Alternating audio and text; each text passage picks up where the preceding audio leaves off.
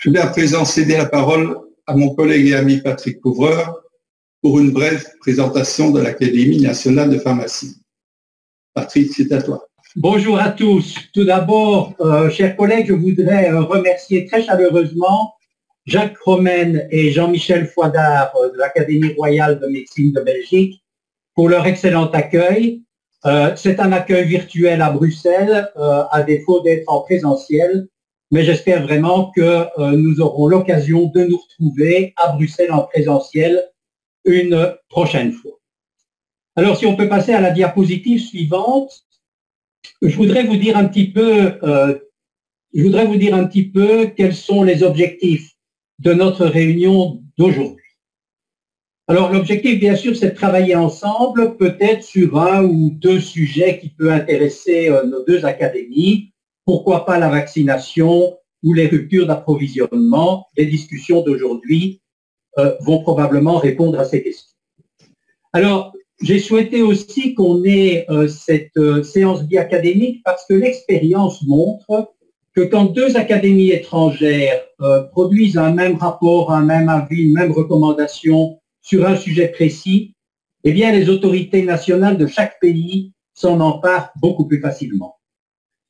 Et puis, il faut le dire, nos deux académies appartiennent à des pays voisins, mais aussi de langue française, et bien entendu, ceci va faciliter la communication. J'ajoute que beaucoup d'entre vous le savent, je suis d'origine belge. J'ai fait toute ma formation en Belgique, d'abord euh, aux facultés universitaires Notre-Dame de la Paix à Namur, et puis à l'Université catholique de Louvain, où j'ai euh, présenté ma thèse et où j'ai fait une courte partie de ma carrière comme assistant et puis comme chef de travaux. Et donc c'est pour moi réellement un très grand plaisir d'être là aujourd'hui parmi vous. Alors, je voudrais commencer par vous présenter euh, très brièvement notre Académie nationale de pharmacie sur la diapositive suivante.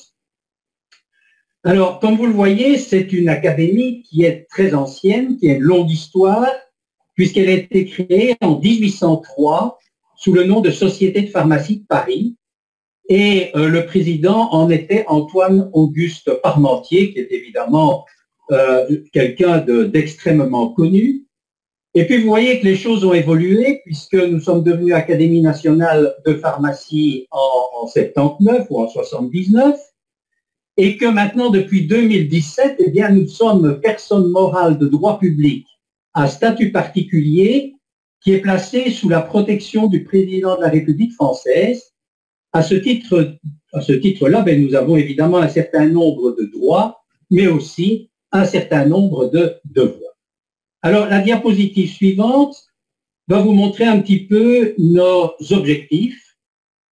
Alors, principalement, celui-ci est basé sur la science. Il s'agit de s'emparer de toutes questions relatives soit à la santé publique, soit à la santé environnementale, et ceci grâce à l'expertise scientifique, mais aussi technique de nos membres, qui sont tous bénévoles, et je voudrais insister sur ce point. Alors, l'Académie nationale de pharmacie représente une force de proposition, euh, notamment auprès des pouvoirs publics et surtout auprès des pouvoirs publics, avec toute une série d'avis, de recommandations et de rapports.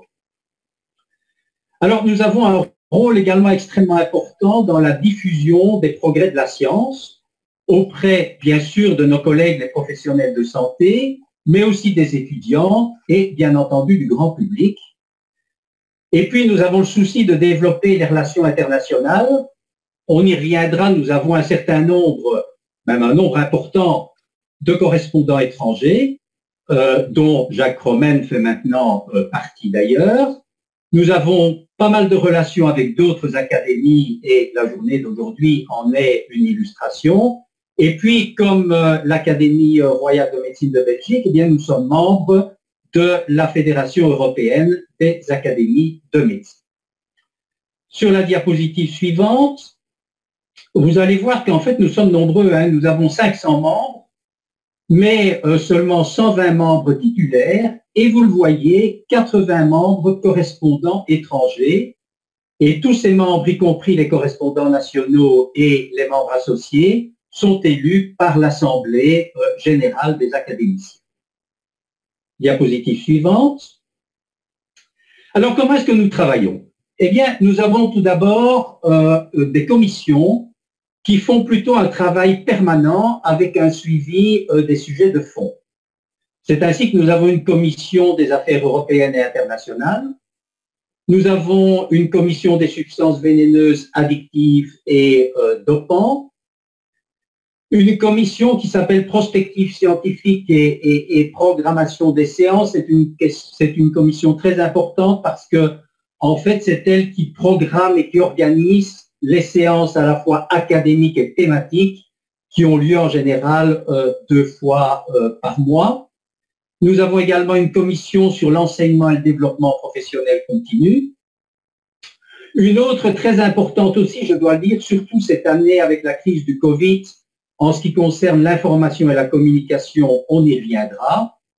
Il y a aussi un dictionnaire, une commission qui, va s'occuper du dictionnaire et de la veille des mots du langage et du langage, et une commission d'éthique. Et puis à côté de euh, ces commissions, nous avons des groupes de travail qui vont aborder, je dirais, des thèmes qui sont plus spécifiques et surtout des sujets chauds d'actualité, comme par exemple, je ne vais pas tous les citer, l'indisponibilité des médicaments dont on parlera aujourd'hui, et aussi, par exemple, la vaccination des personnels de santé. Je voudrais ajouter un groupe de travail euh, pour lequel euh, que, je, que je préside, c'est la chimie pour la pharmacie et les sciences pharmaceutiques. Et tout ceci euh, peut aboutir, vous le voyez, à des rapports, des recommandations, des articles, des conférences, etc. Diapositive suivante. Alors, l'année 2020 a été particulièrement chargée en communiqués. Euh, L'Académie nationale de pharmacie a fait plus de 20 communiqués rien qu'en 2020. Il faut le dire, beaucoup de ces communiqués sont en rapport avec les sujets en, relation avec l'épidémie de Covid. Alors vous le voyez, rien, je ne vais pas tous les citer, hein, mais rien que pour euh, euh, le mois de novembre, eh bien, nous venons d'avoir il y a quelques jours un communiqué euh, concernant l'usage médical du cannabis, dit cannabis thérapeutique. Nous avons également fait un communiqué, et je suis content qu'on en parle aujourd'hui, sur ce qui pourrait être une révolution dans le domaine de la vaccination à savoir euh, la vaccination à ARN messager modifié, qui, vous le savez, est présentée sous une forme dialénique particulière, puisque encapsulée dans des nanoparticules liquidiques. Il y a eu aussi un communiqué sur les biosimilaires et le droit de substitution par les pharmaciens. Euh, et puis vous voyez aussi euh, la nécessité de se protéger en se faisant vacciner contre la grippe pneumocoque et ce ne sont que quelques exemples euh, très récents. Diapositive suivante. Alors, diapositive suivante, s'il vous plaît. Il faut savoir que nous travaillons beaucoup, et personnellement, j'y tiens beaucoup avec nos académies sœurs euh, au niveau de la France, en particulier l'Académie nationale de médecine, mais aussi l'Académie des sciences. Alors, vous voyez qu'on a fait huit communiqués et là aussi, je vais euh, seulement vous en mentionner un qui me semble très important et qui est un communiqué triacadémique entre l'Académie euh, nationale de médecine, l'Académie des sciences et notre Académie de pharmacie. Et il s'agit des essais cliniques qui ont été réalisés au cours de la pandémie Covid-19.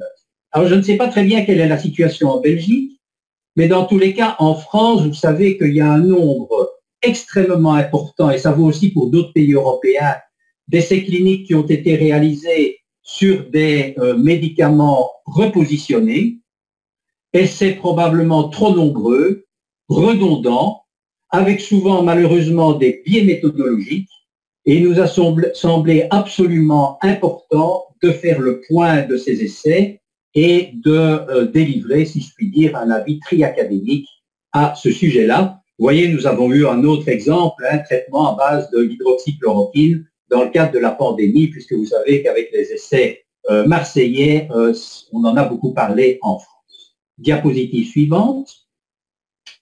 Alors, à côté de ces euh, communications, rapports, avis, nous avons également des séances qui sont soit académiques, je n'en parlerai pas aujourd'hui, mais aussi des séances thématiques. Alors, à titre d'exemple, cette année en 2020, eh ben, nous avons eu une séance thématique sur les carticelles, sur CRISPR-Cas9, qui est le sujet, euh, bien entendu, du prix Nobel de chimie cette année, nous en sommes très heureux, sur la nécessité euh, de bien connaître les interactions protéines-protéines pour découvrir euh, de nouveaux médicaments, et puis sur les avancées très récentes dans le domaine des substances naturelles, en particulier en utilisant l'intelligence artificielle. Et puis, à côté de ces séances thématiques qui sont spécifiques à notre académie de pharmacie, nous, organisons également des séances bi- ou pluriacadémiques.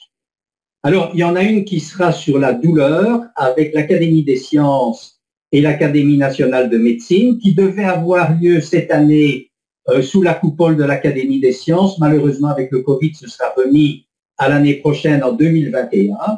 Et puis, euh, idem, nous aurons une séance exa-académique sur le sujet de la résistance aux antibiotiques et euh, le microbiote, qui sera surtout piloté par Liliane Kéros, notre secrétaire perpétuelle.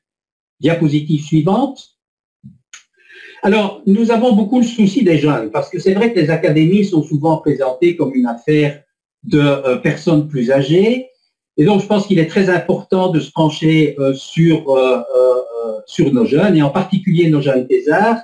Et c'est pour cela que nous avons euh, en particulier des prix de thèse. Vous voyez, nous en avons huit qui récompensent en fait euh, des thésards euh, dans pratiquement tous les domaines des sciences pharmaceutiques, de la pharmacie et des sciences pharmaceutiques, à côté de prix mémoriaux, de bourses de recherche en pharmacie oncologique en particulier. On a aussi un prix de thèse pour les Antilles-Guyane.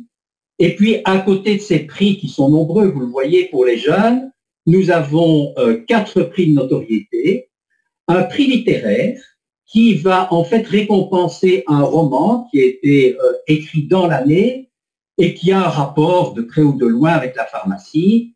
Et puis, on a euh, un grand prix, un prix d'honneur et un prix francophone de la pharmacie. Diapositive suivante. Très rapidement, nous avons euh, quatre voies de publication. Tout d'abord, l'Observatoire. C'est une publication très importante pour nous. C'est une lettre trimestrielle. Pourquoi?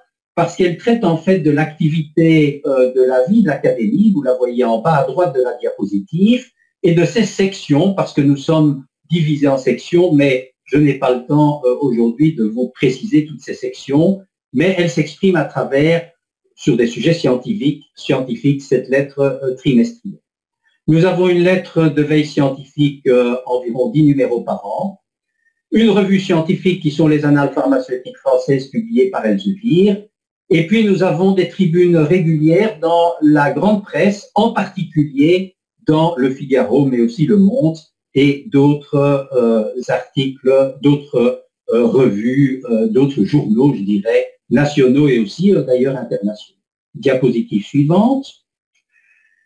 Alors, nous avons un site Internet qui est assez facile. Euh, vous y trouverez toutes les annonces, les comptes rendus des séances académiques et thématiques, les rapports, les recommandations, les communiqués. Diapositive suivante. Et puis, je voudrais vous terminer en vous disant que nous avons un dictionnaire des sciences pharmaceutiques et biologiques. Je pense que ce dictionnaire est sans équivalent dans la francophonie et il est accessible à absolument tous les internautes dans l'univers wiki. Il se trouve d'ailleurs sur la première page de notre site internet et il s'inscrit dans la vocation de l'Académie de pharmacie qui est, euh, je vous l'ai dit, à contribuer à la formation et à l'information de tous, enseignants, chercheurs, chercheurs, professionnels de santé, étudiants et citoyens. Diapositive suivante. C'est très facile, vous avez des mots et vous pouvez avoir une définition générale pour un mot. Par exemple, vous le voyez ici, le médicament, ou encore pour certains sujets, une définition réglementaire, comme par exemple ici, le droit pharmaceutique. Diapositive suivante. Et puis, euh, on a quand même beaucoup de définitions qui sont beaucoup plus longues parce qu'elles impliquent en fait plusieurs expertises euh, qui associent plusieurs sections au sein de notre académie, et c'est le cas de l'hépatite C. Et je voudrais maintenant, diapositive suivante, terminer tout simplement en vous disant que nos séances se déroulent dans une salle historique et prestigieuse dont vous avez une vue à gauche qui est la salle des actes. Vous y êtes bien entendu euh, euh, les bienvenus à tout moment parce que ces séances sont ouvertes. N'hésitez pas à nous rejoindre. Et encore une fois, merci pour votre attention et très heureux euh, pour être parmi vous aujourd'hui.